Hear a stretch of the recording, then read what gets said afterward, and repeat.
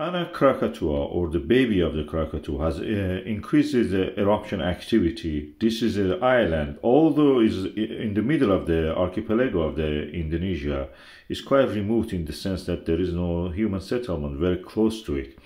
So what we have is just casual things that we sometimes uh, can observe, uh, including this eruption, latest eruption. Previously, we know that the island was bigger; it was a conical shaped uh, you know, volcano.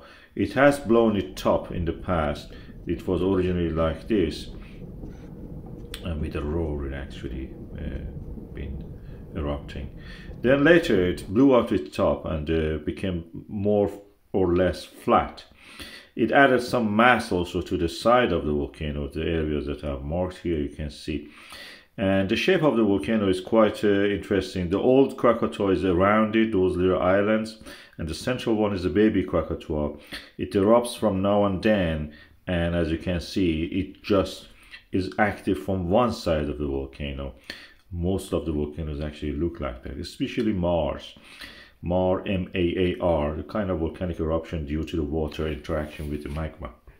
As you can see, this is part of the ring of fire of the Pacific, Indo-Pacific Ocean and uh, one of the most interesting and probably most dangerous